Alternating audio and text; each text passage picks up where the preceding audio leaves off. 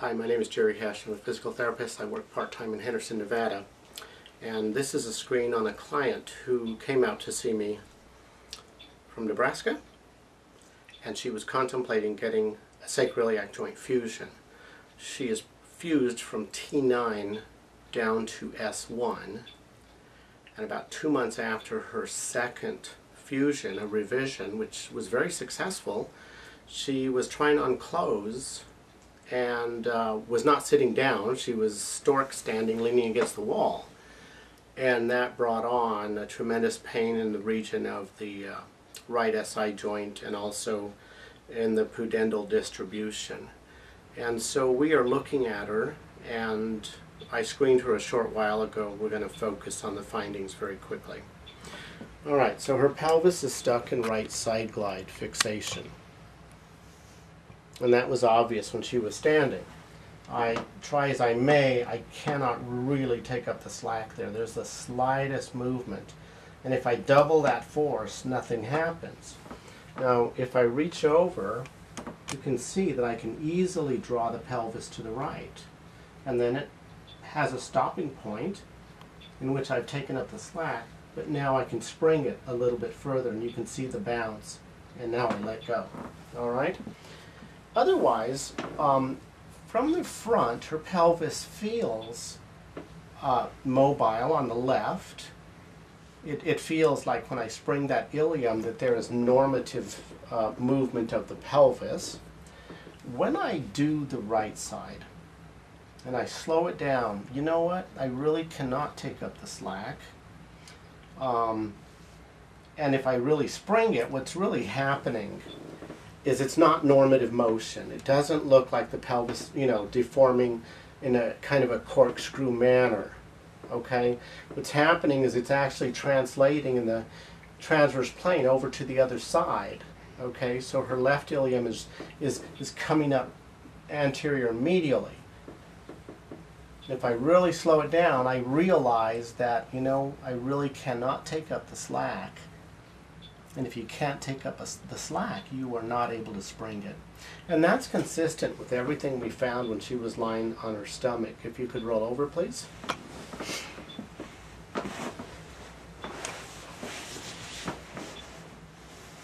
What we found was on the left side she had normal mobility. So if I take up the slack, pushing on the ischial tuberosity, I can then spring her and you can see her bounce. And now I let go. All right? When I push inferiorly,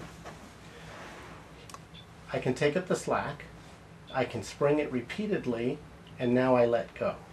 On this side, I can't. I cannot take up the slack in any direction. From inferiorly, I cannot. I cannot take up the slack. I'm putting 20 pounds of force, even more, and I cannot. Positionally, the right ischial tuberosity is posterior. The PSIS is posterior and superior.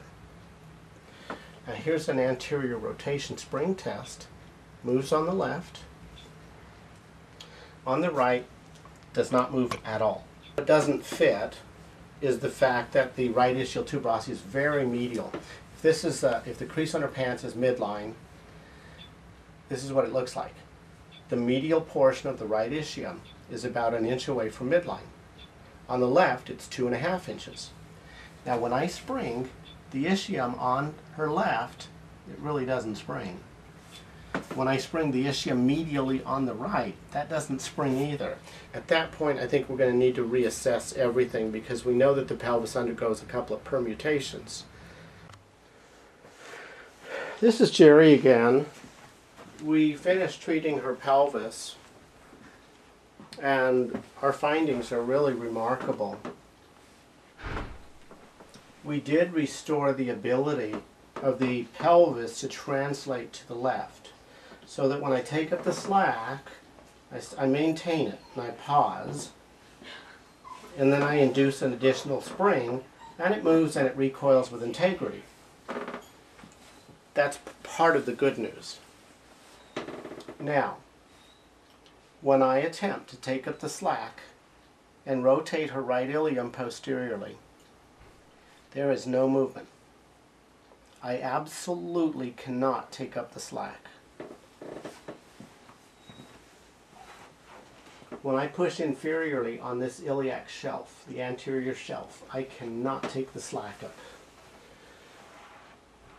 On this side, yep, take up the slack and then spring it. All right? Could you line your stomach, please?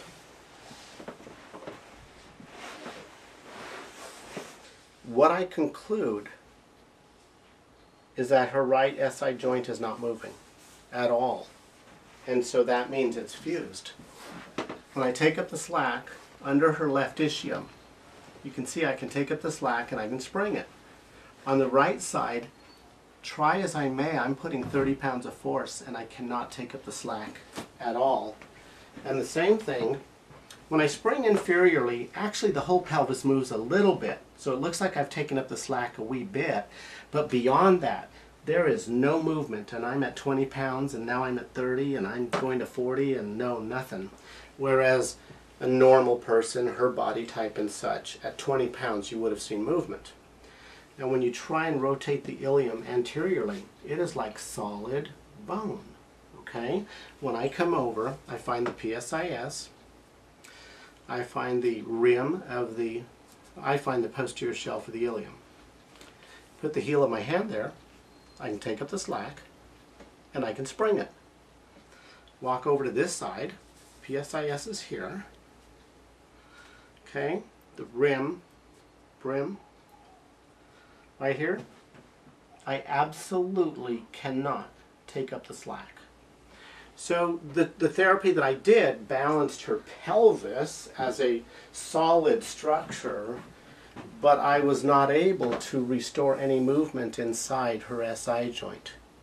Nonetheless, her pelvis is more balanced now, so the soft tissue tone inside the pelvis is more balanced. That includes the pelvic floor and the rotators um, such as the piriformis, gemelli, etc. She may get better because maybe we've taken off some mechanical tension and compression on the pudendal nerve and on these other um, nerves. There's a couple of gluteal nerves that come out of that notch, etc. Time will tell.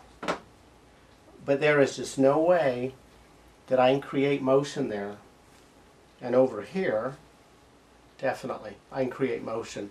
So I think that we have a fused right SI joint, and I will stop here. I will see her again tomorrow. I'll see her the following day, and she does have back home. She has a CAT scan that looks at her low back and goes down, I think, as low as S2. I wish it went a little bit lower.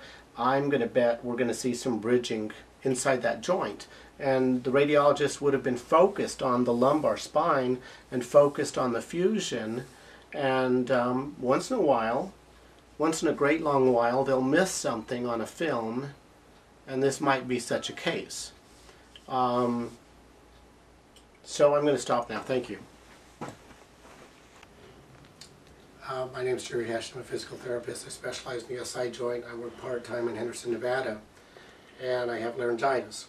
This is a client who came and saw me from Nebraska, and she was contemplating getting a sacroiliac fusion on the right side. She had severe scoliosis, and as a result of that, she has had two extensive fusions. And right now, she has a tremendous amount of hardware in her body from T9 down to S1 and it was necessary. The scoliosis was very severe, and um, the surgery was necessary. You, can't fault the surgery. Um, she's had pretty severe debilitating pain, um, which commenced a couple of months after the second surgery, doing something very simple. She was putting on clothing. She was out shopping and trying on clothing rather than sitting down and putting on pants, she was leaning against the wall and lifting up one leg and something happened.